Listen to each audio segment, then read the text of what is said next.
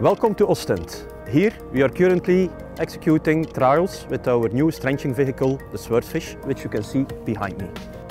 The Swordfish is an offshore trencher which can bury cables up to 3 meter deep in a wide range of soil. The demand in renewable energy is increasing rapidly and with vehicles like the Swordfish we do our part in the energy transition. That is bringing the energy onshore and interconnecting different electricity networks. The trencher is custom made and perfectly designed as per our needs. The result is a versatile high-power trencher which we can use for many projects.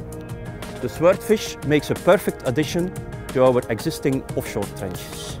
It has an innovative cable handling system and can operate in deep waters till 500 meters deep.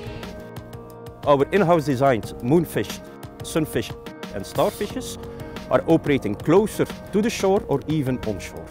The Swordfish will be uh, launched and operated from the Symphony, our newest acquired offshore support vessel. We are currently uh, carrying out functional tests here in Ostend to familiarize the crew with the machine and uh, with the cable handling.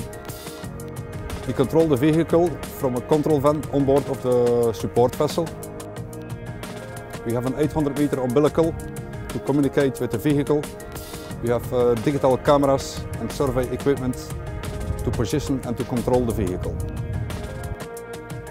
We constantly look for new ways to improve ourselves, to propose custom-made solutions towards our clients, and to go one step further to make the energy transition a reality.